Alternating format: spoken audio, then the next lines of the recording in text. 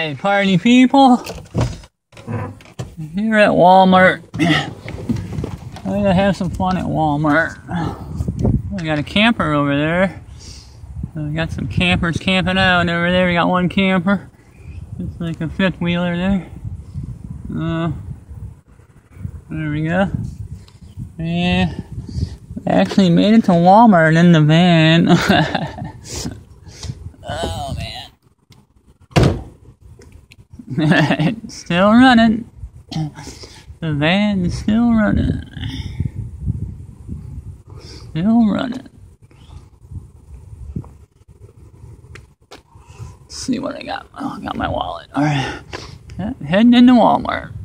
Yeah, this is my favorite Walmart. Is a little farther from my house, but it's in uh, Southgate, so this is actually clean, not run down Walmart. It's a lot. They just built it a few years ago, so it's uh, it's a lot cleaner.